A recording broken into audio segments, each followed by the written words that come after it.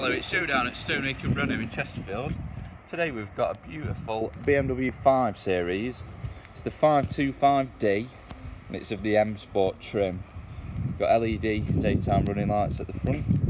Obviously the car's on a 16 plate. Got the nice BMW grille as well.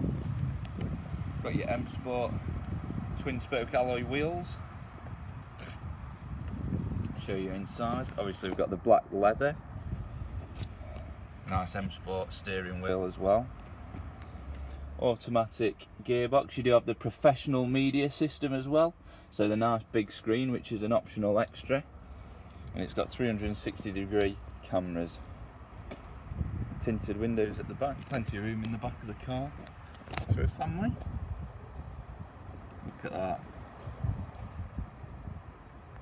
Got your rear view uh, camera as well as your sensors, sorry two exhaust pipes.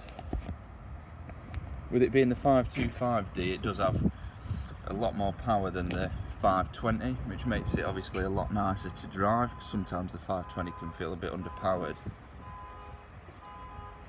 Look at that.